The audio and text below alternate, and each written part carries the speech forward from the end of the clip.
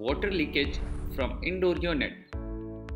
Let's understand the common problems of leakage in air conditioner. First reason is clogged drain pipe.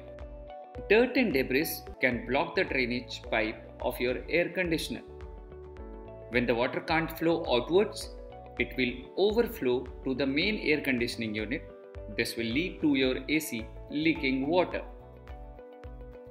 Second reason would be drain hose immersed in water tank. Check if the end of the drain hose is connected to water tank or end of the hose is immersed in the water tank. If yes, please remove it. Third reason is temperature variation leading to sweating.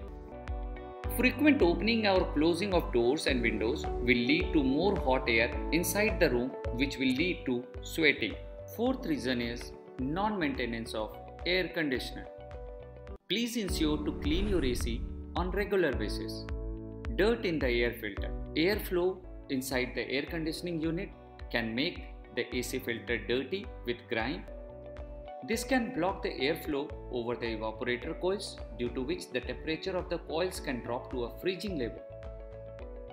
In such situation, instead of moisture, ice begins to form over the coils, dripping excess amount of water in the drainage pan. The pan runs out of the capacity to hold extra water, resulting in leakage. Air filter cleaning. Clean the filters with a vacuum cleaner or wash with a soft brush over flowing water.